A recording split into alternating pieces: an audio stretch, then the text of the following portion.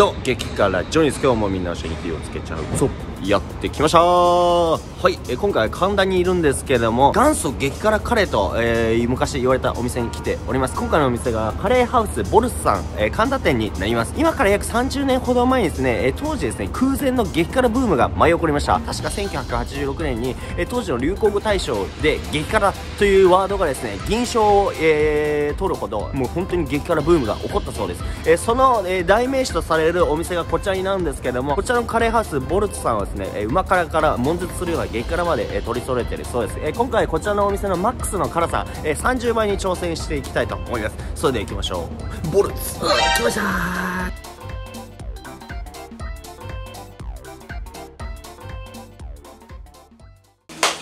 いただきます。さあボルツさんの、えーチキンカレー30倍ホットいただきましょうか。ボルツ非常に香ばしい香りがします。今まで嗅いだことないスパイスの香りがしますねこれは。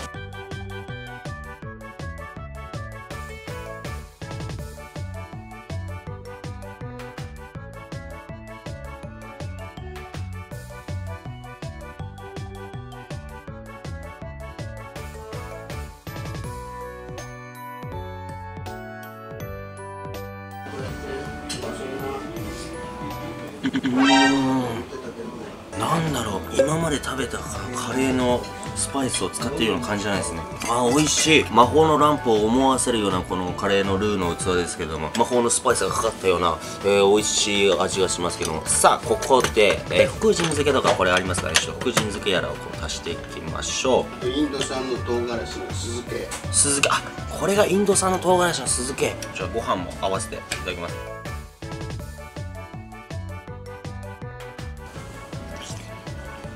うーん。うん。はい。うま辛いですね。えそしてこのインド産の唐辛子。名前何でしたっけこれ。グリーンチリピクルス。グリーンチリピクルスなかなかこのインド産の唐辛子とか食べることに機会ないですけどちょっとせっかくです。食べてみますねその唐辛子がね4倍ぐらいうーんピリッとしたこう辛みありますがこう酢につけてる分この辛みというものが若干やらないです。これ美味しいなこのカレーに合いますね。ご飯が進みます。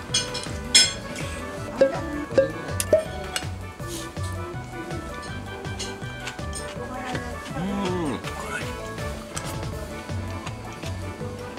鋭い辛さを感じますけれども。でその後にこのカレーのコクというものがぶわーっと口の中に広がり美味しいですね。うーんうん。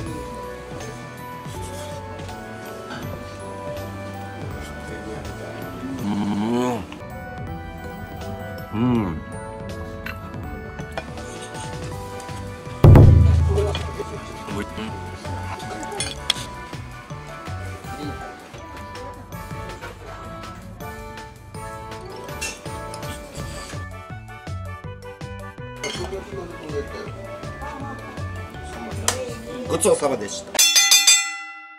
それでは辛さのレベルを発表していきましょう。ボルツ神田店さんの、えーチキンカレー30倍ホット。辛さレベルじゃーんじゃーん辛さレベル6でーす。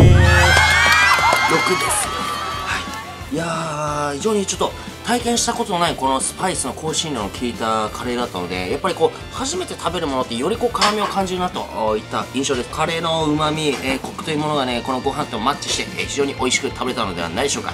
キンもね大ぶりで、えー歯ごたえたっぷり、えー噛み応えたっぷりで、えー大満足の一品です。元祖激辛の味だってこの味はどこのお店でももう真似できないような、えー味でした。初めて食べたこういった感じのカレーは。直接でインドから香辛料を仕入れてるだけあってねこれは唯一無二の激辛カレーメニューではないでしょうか。ということでもしこの動画が良ければグッドボタンチャンネル登録よろしくお願いします。Twitter 等々も更新してますのでフォローお願いします。ボルツ。